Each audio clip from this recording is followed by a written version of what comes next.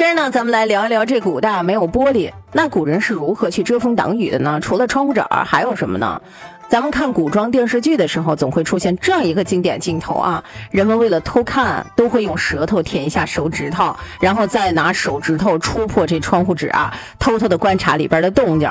这个似乎就是古人用来偷窥的一种最佳的方式。玻璃工艺传入到中国呢是比较晚的，因此上在观众心目当中留下了一个固有的印象：这古代的窗户啊，那都是纸糊的。纸张呢是一种非常脆弱的物品，用它来糊窗户，既不能保证人们的隐私，遮风挡雨，更是一件。难事儿，在古代没有玻璃的情况下，古人是怎么样去给屋内遮风挡雨、保暖采光的呢？今儿呢，耿耿就给大家来聊一聊啊。回归到原始社会，人们所住的房子它是没窗户的。就比如说在西安半坡博物馆里面就展展示了新石器时代的房屋。这个时候的房子呢是用树枝儿搭建而成的，然后再在上面盖上树皮、草席子。然后呢，唯一用来透气儿的地方那就是屋顶部位的洞了。这就是远古时期最早出现的一种窗户的形态。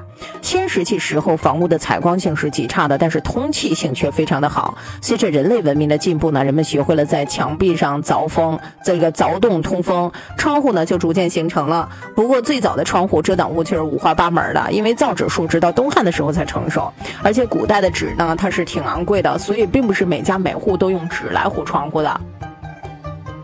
那在古人用纸糊窗户之前，用来遮风挡雨、保护隐私的窗户遮挡物，主要就是以竹草编成的帘子，也也就是经常出现在古诗里的蓬帘儿。那另一种呢，就是拿一整块木板挡在窗口，有点像今天商铺门口的遮雨棚啊。白天的时候拿木棍儿把木板支起来，晚上的时候呢又把木板放下来。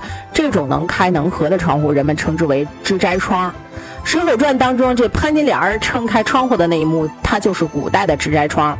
不过，现实的纸斋窗可没电视里那么精致啊，它就是一块完整的木板，基本上是没有什么精美的花纹，也没有什么窗户纸的。呃，真正出现用纸糊窗户，其实就是在唐宋时候。这个时候的纸张呢，经过了改良，那造纸技术呢也进一步的提升，窗户纸的使用呢不再局限于富贵人家。人们总觉得古代的窗户呢容易点燃，这个易损，甚至完全不具备防水功能。事实上呢，它并不是这样。为了解决以上的问题呢，专门用作糊窗户的窗户纸已经被人们发明出来了。唐宋百孔六帖当中记载，糊窗用桃花纸涂以油水，取其甚明。这种用来糊窗户的专用桃花纸呢，是用桐油泡过之后，就形成了一种质地很厚、可以防水防潮的油纸。这种纸呢，也是中国古代用来制作油纸伞的纸，遮风挡雨自然是不成问题的啊。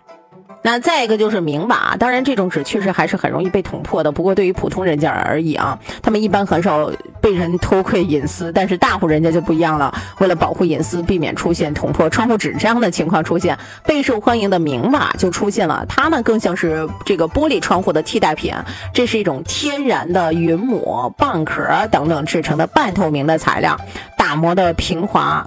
平整光滑以后呢，再镶嵌于木格窗户上，它的美观程度跟采光程度呢都要远胜于油纸，同时呢又增加了窗户的密闭性，起到了保护隐私的作用。至今呢还有不少的古老的建筑都依稀可寻古雅精明的明瓦。其实呃，这个古代窗户纸的发展到今天都体现在中国古人的智慧哈。好啦，这就是今天的趣说野史，感谢大家的收听，我们明天再会。